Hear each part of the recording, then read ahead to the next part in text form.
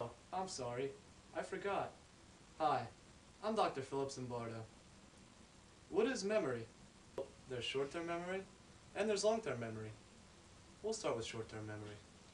Short-term memory is also known as working memory. It briefly stores and processes selected information from the sensory registers. It usually performs one or more tasks at a time. It shifts when we move our attention elsewhere. Hi, I'm Morgan. Hi, I'm CJ. So, CJ, what do you like? What are you into? Uh, you know, I like sports and movies and. Who are you again? Where am I? Why am I here? Hi, I'm Morgan. Hi, I'm CJ. What are you into? What kind Wait, of things do you like? We already did this. What? What? By chunking, you can organize items into familiar, manageable units. For example, your cell phone number. You don't memorize your cell phone number as one big number, but you memorize it as three different sets of numbers. Maintenance rehearsal allows us to hold information in short-term memory for longer periods of time. Sometimes, I even forget my own name. My name is Philip Zimbardo, my name is Philip Zimbardo, my name is Philip Zimbardo. Now I remember. Now on to long-term memory. The portion of the memory that is more or less permanent, corresponding to everything we know. It stores vast amounts of information for many years. For example, I remember all the way back to my first psychology class. Man, was that a joke.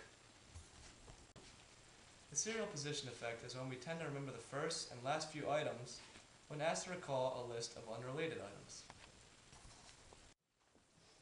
CJ, at the store I need you to buy gum for me, and eggs, milk, chips, cereal, and marshmallows.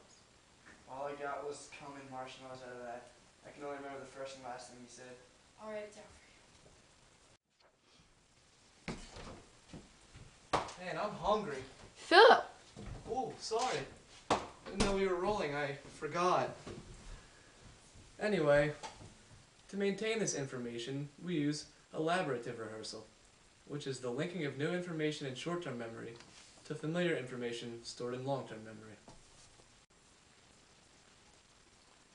A schema is a set of beliefs or expectations about something that's based on past experience. So you may have heard of mnemonic devices. Mnemonics are techniques that make material easy to remember.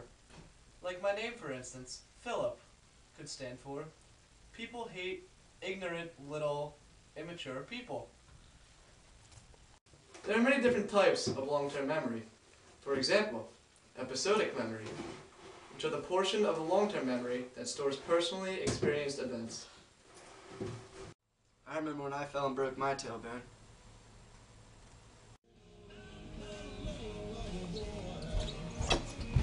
Oh! So, semantic memories are the portion of long-term memory that stores general facts and information. My semantic memory allows me to remember what I learned in school. Cat. Um, C? A-T, cat. Dog.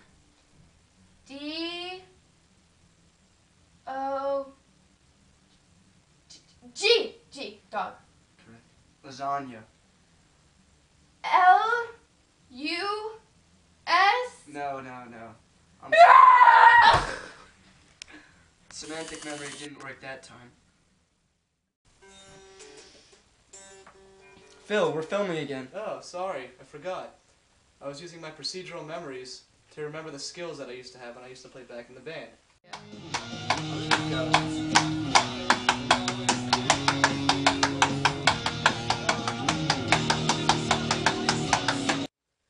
Procedural memories are the portion of long-term memory that stores information relating to skills, habits, and other perceptual motor tasks.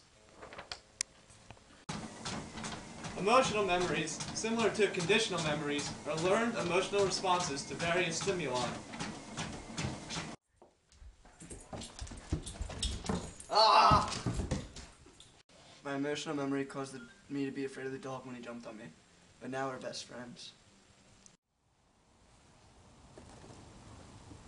Explicit memory is memory for information that we can readily express in words and are aware of having.